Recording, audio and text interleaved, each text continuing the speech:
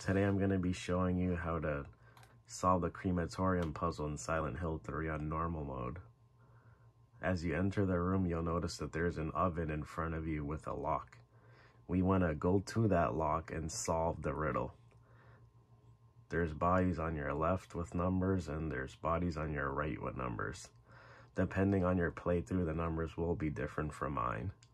The simplest way to solve this is to go straight to the oven.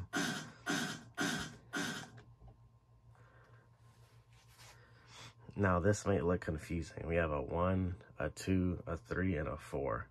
When we enter the room, we were right here, where my finger is. So this 1 signifies this is the first number you want to use. The body that was here is the first number.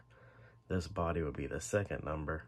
This body would be the third, and this would be the fourth.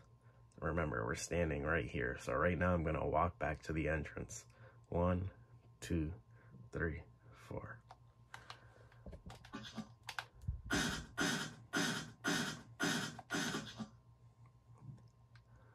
Eight, zero, seven, three.